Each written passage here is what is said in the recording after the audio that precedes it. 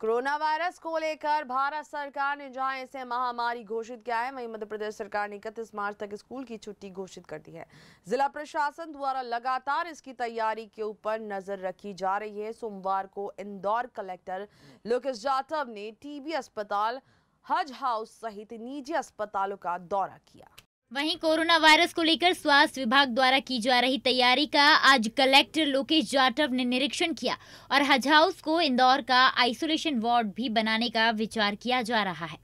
Indore collector Lokesh Jatav ने बताया कि इंदौर ज़िले में अभी तक 15 लोगों के कोरोना वायरस को लेकर सैंपल लिए गए हैं, जिसमें 14 लोगों की रिपोर्ट नेगेटिव आई है। वहीं एक मरीज़ की रिपोर्ट आना बाकी है। इंदौर कलेक्टर ने इस दौरान लोगों से कोरोना वायरस को लेकर अपील करते हुए कहा कि इसको लेकर सावधानी बरतें और भीड़ भाड़ वाले इलाकों में जाने से बचें और सर्दी खांसी होने पर नजदीकी डॉक्टर को तुरंत दिखाएँ। कोरोना वायरस के संक्रमण अगर कोई आता है तो उसके जो प्रारंभिक तैयारी के लिए हम लोगों ने अभी चार पाँच साइट्स देखे हैं।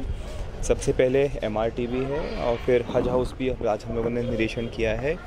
इसके अलावा हुकुमचंद पॉली क्लिनिक है, वहाँ भी हम लोगों ने देखा है। इसके अतिरिक्त श्रीपुर क्षेत्र में एक प्राइवेट हॉस्पिटल है, वो भी हम लोग अभी उसको व्यवस्थाएँ देखेंगे। लोगों का लक्ष्य है कि आवश्यकता पड़ती है तो करीबन 400 से 500 बेड आइसोलेशन के हमारे पास तैयार हैं।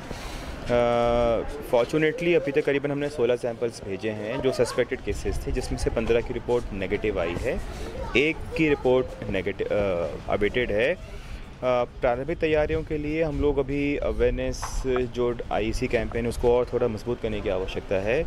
और वर्तमान में शहर में जितने भी शासन के निर्देश के उपरांत जितने भी स्कूल्स हैं कॉलेजेस हैं वाटर पार्क्स हैं, जिमनेशियम्स हैं, इन सभी को आगामी आदेश तक बंद रखने का फ़ैसला लिया गया है।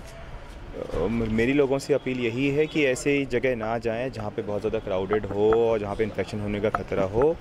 एक सोशल डिस्टेंसिंग का जो मैसेज है, उसको हम सबको फॉलो करना चाहिए और जितने भी प्रिकॉशंस एडवाइजरी जारी हुई हैं, सभी पालन करें। Bureau report, Dabang news.